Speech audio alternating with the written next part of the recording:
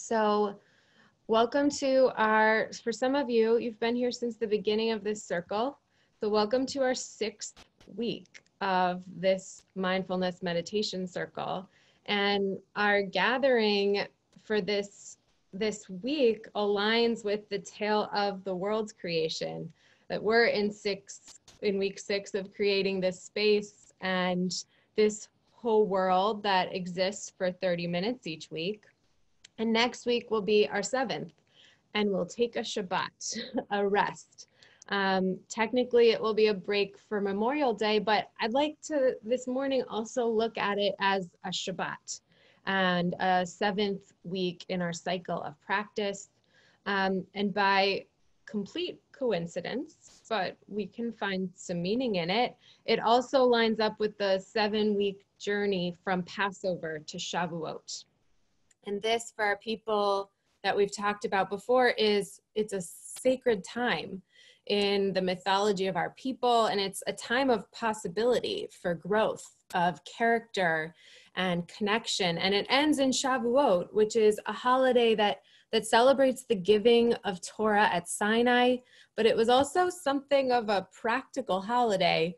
It celebrated the first fruits of the harvest. It's an agricultural holiday at its root. So this morning, I'd like you to just invite you to consider the fruits of your labor these past six weeks not only here together in our mindfulness practice and this circle, but just in the whole experience of living an entirely different pace of life in this time in our city, in our country, in our worlds, and in our consciousness. Um, I'm not sure about you, but even while remaining healthy during this period of quarantine, my body has been impacted by the changes to routine um, and rhythm. And I, I, see some people nodding, perhaps their bodies have also been impacted by it. Um, the toll of sitting in weird positions in homemade offices, not walking as much or walking differently is being felt. Um, and sometimes there are unwelcome changes um, that we don't even notice. Um, and personally, I I didn't notice the toll of these physical changes until I recently completely injured my back, um, just trying to change the sheets on a bunk bed, um, which is not an, the easiest thing to do in the world in the first place.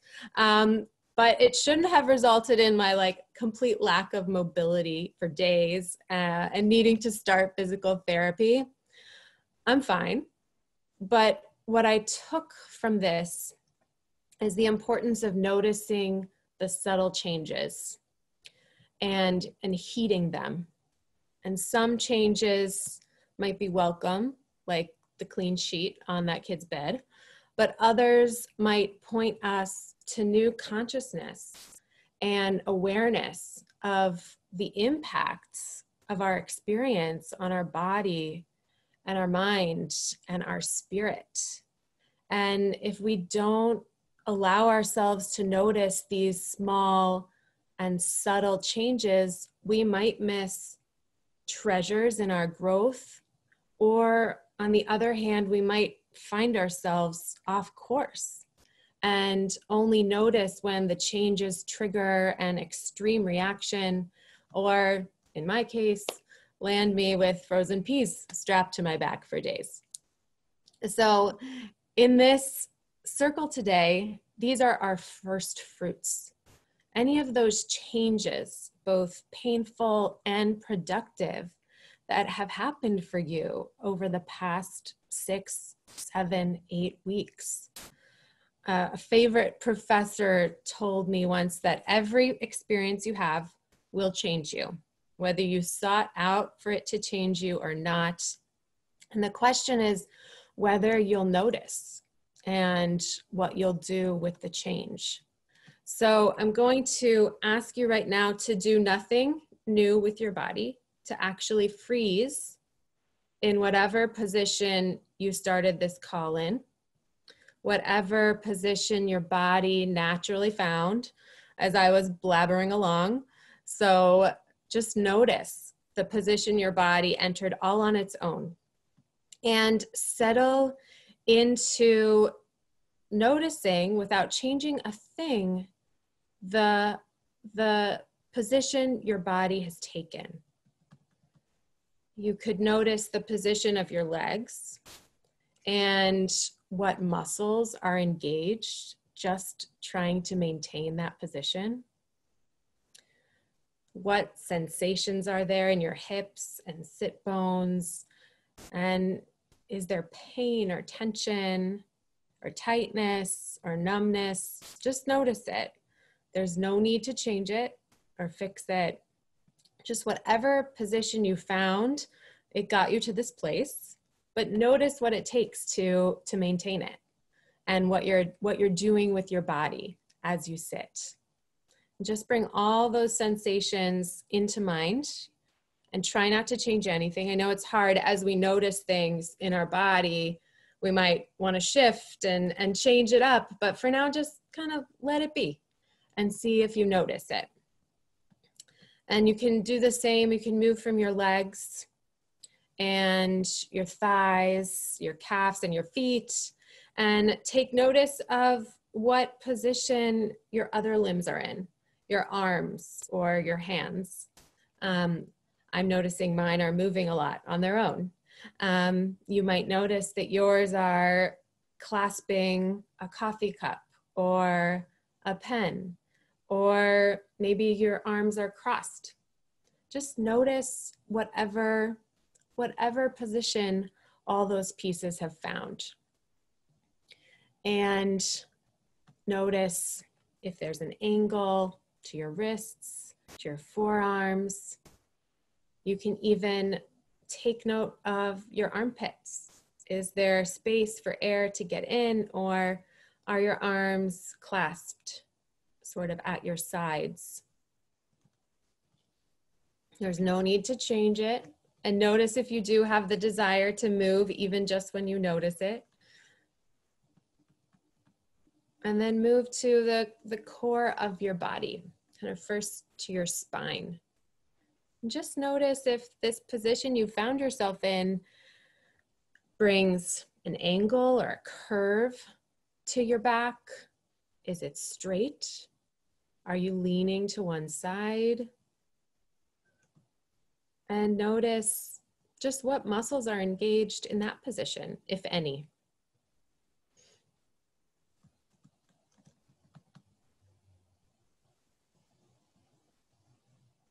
Is anything twisted? Tense? Just notice it. Notice whether your shoulders are more back or more forward. Is your head leaning forward in any way? Just notice this natural position you found yourself in.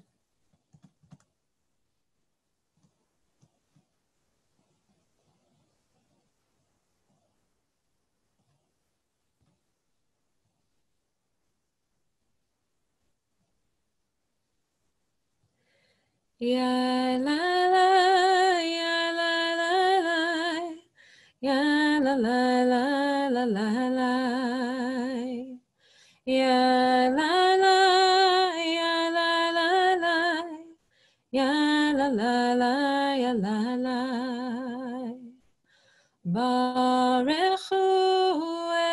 Adonai,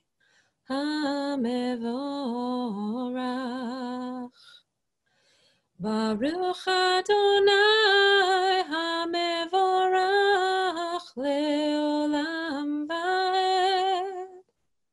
Baruch Adonai HaMevorach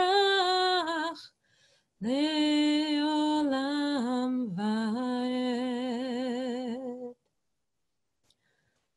Praise Adonai, source of life and consciousness, who is praised.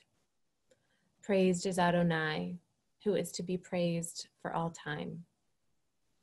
So now that you've noticed your status quo, the posture that you just landed in this morning, I invite you to now bring some gentle movement and change to each part of your body, starting with your feet and legs.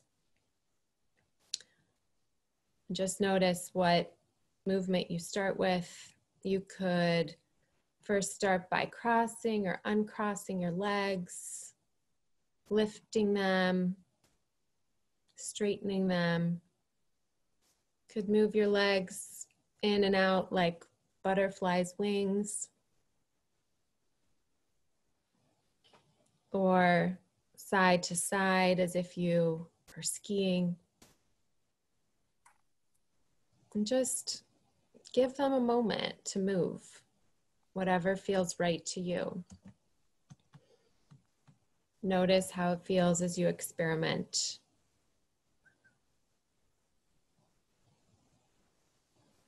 What other parts of your body are impacted just by moving your legs in a different way?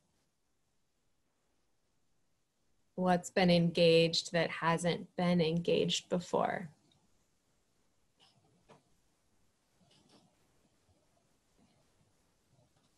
You do something that doesn't feel so good, just notice it. Notice how it feels. You don't have to do it again.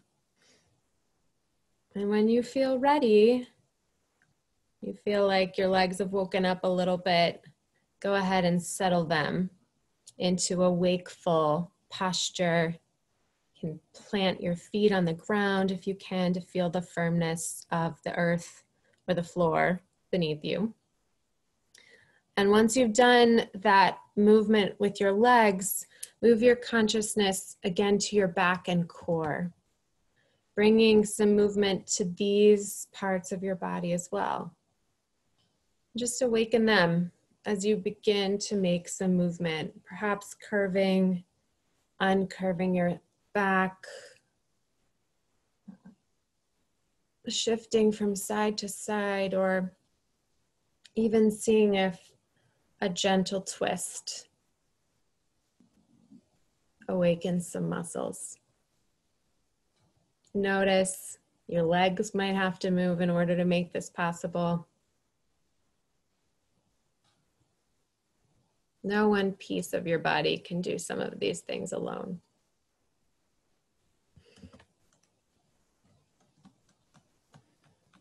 And just notice how it feels to transition from stillness to movement in these body parts. And just take note again if there's discomfort or pleasant feelings, even a burning sensation if you're repeating certain movements over and over. And then finally, move from that movement back to stillness. Settle your core and your back into a posture that feels awake and confident for you and sustainable for a period of time.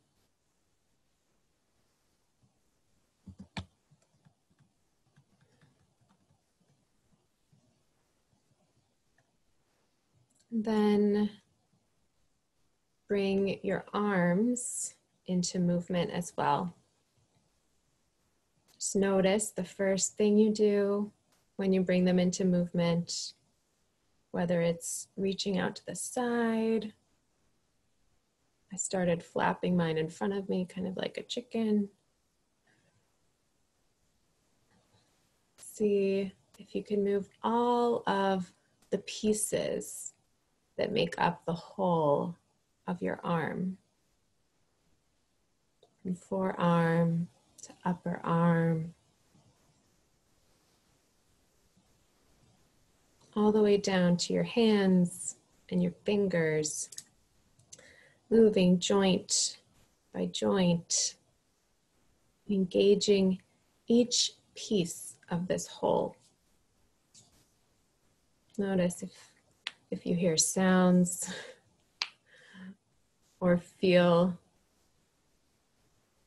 things that are comfortable or uncomfortable, just notice.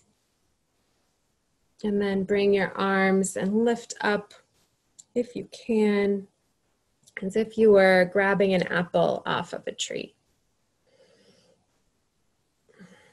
And notice how, as you do this movement, mostly with your arms, the rest of your body is supporting you and making it possible.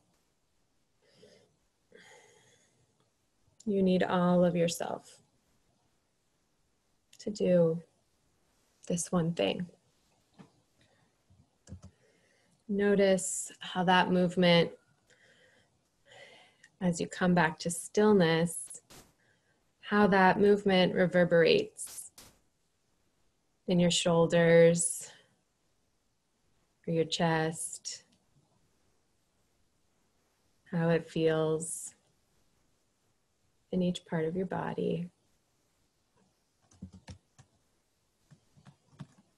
Just take some time now to revisit any part of your body that you think needs some extra waking up today. Just kind of give it some some extra move, gentle movement.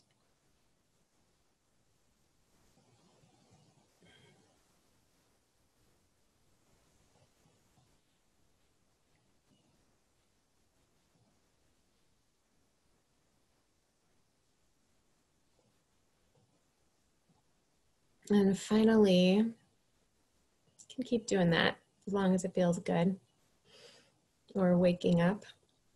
When you're ready, you can settle into our more routine mindful posture. And if you haven't already, you can close your eyes as we look inward. And this time, go ahead and straighten your back in a way that feels comfortable to you. Giving yourself whatever support you need. Feet grounded on the floor. You might actually find that wakeful involves standing or even laying down. If you can be in awareness of, of your body that way, and supported at the same time. Just find whatever position that is for you. And no matter which position works for you, if you can imagine that a string is extending from your head up, up to the ceiling as you take up your full height creating plenty of space between all the parts of your spine and neck.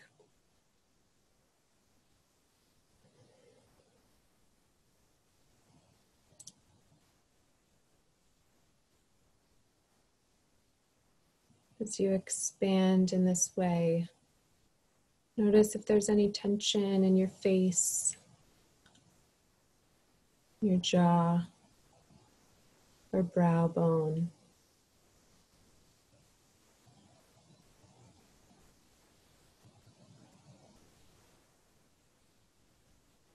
And if you can, release it.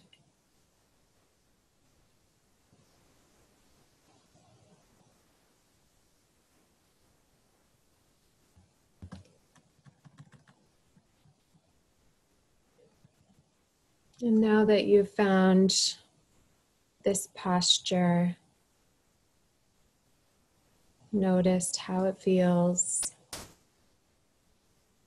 to be in stillness again after movement. Bring your attention to your breath.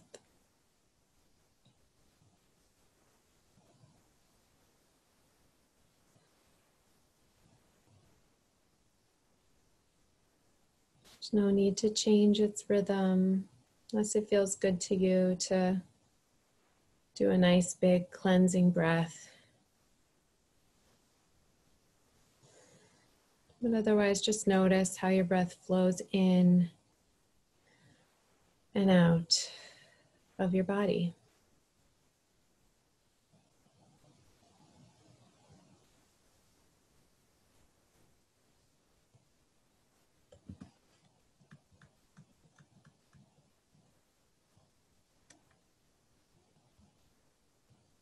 Notice it as it enters and exits your nose. Even if you can, notice the sensation of the breath as it moves inside your nose, how it feels as its force moves through that small space.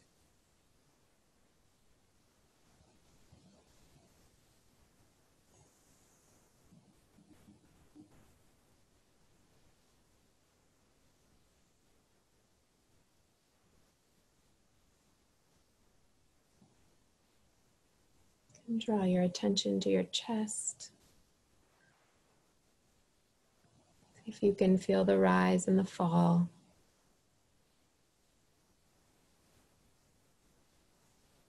The emptying and the filling of other parts of your body as you breathe. Just being in this moment with your breath.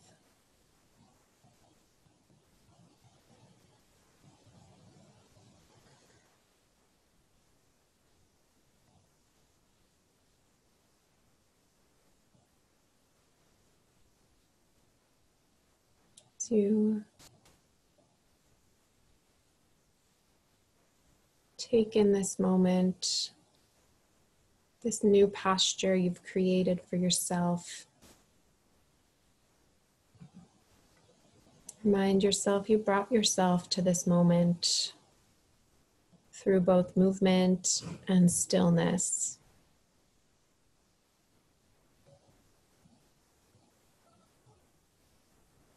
You created this moment with help, but you created it all the same. And so, as you sit here, I invite you to bring to mind something small that you've created. If you can, the smallest thing that you've created can be anything.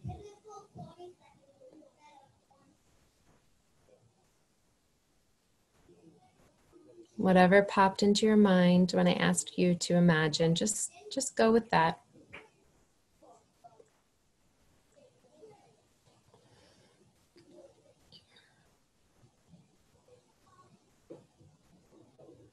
And notice what happens as you imagine this creation this thing that you made? Does it bring a smile to your face? Satisfaction? Recall the labors of creating it.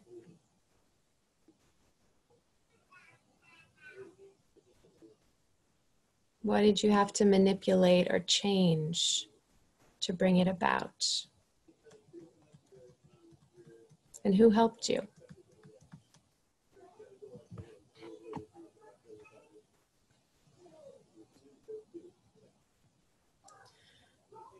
And now bring to mind something that feels big that you created.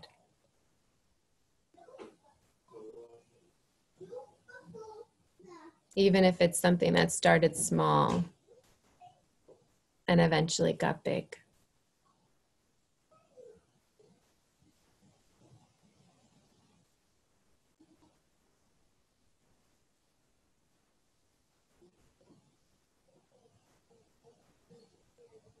Recall the labors of creating it, of growing it.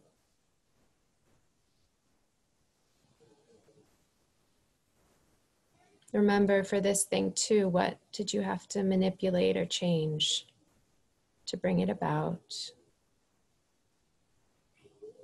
Who helped you?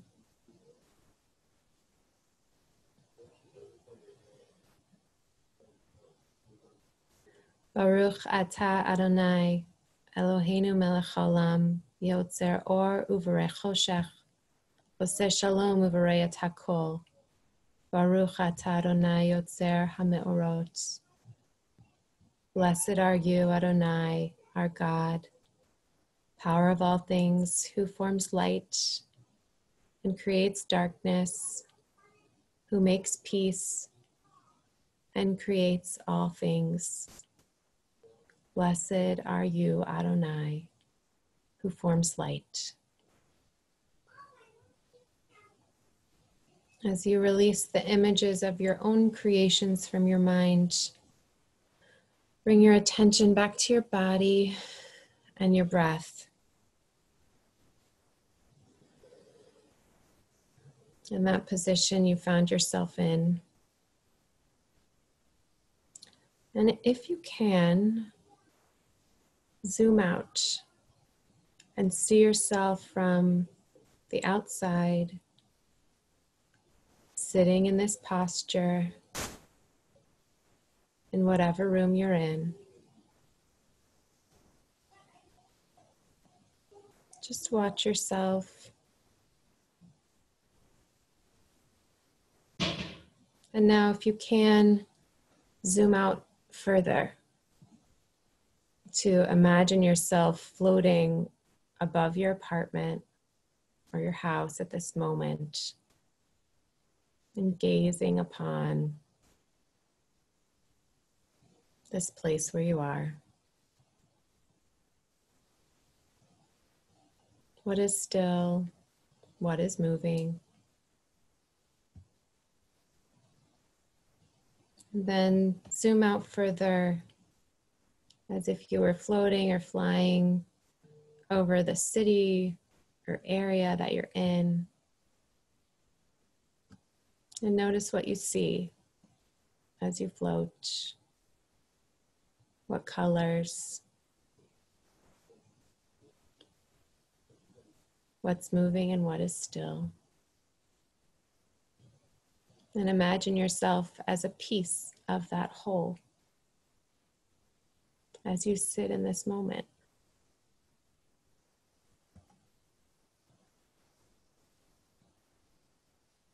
And now zoom out a little further,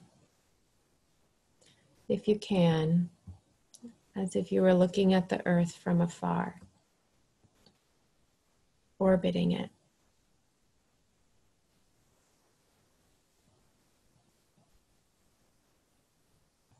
Imagine yourself as a piece of this wholeness.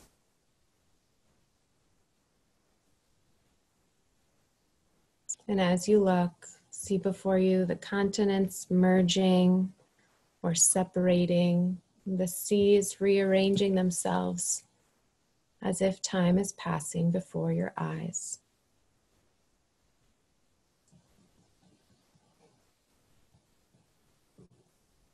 Imagine yourself as a piece, both small and big, of this wholeness. As we chant together the Shema. Shema Yisrael Adonai Eloheinu Adonai Echad Baruch Shem Kivod Malchuto Leolam Vaed Pay attention, Israel. The holiness that you already know is oneness and the oneness endures forever.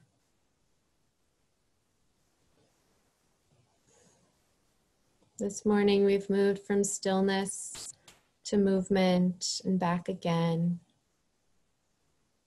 Reflected on our creations and change as we approach Shavuot, this moment of celebrating our first fruits. So as you leave today, I invite you just privately, you can chat just to me. You don't have to share it with anyone else.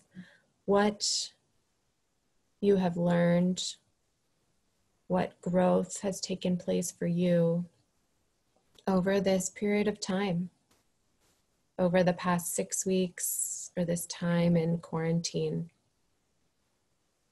What and how has this experience changed you? So if you chat it to me privately, I'll keep it to myself, but sometimes it's it's helpful to bring to consciousness and awareness and share with another the changes that have taken place. So I invite you to open your eyes. You can make eye contact with someone else on the screen, knowing that you went through this with others and had this experience this morning with others. We created this space together.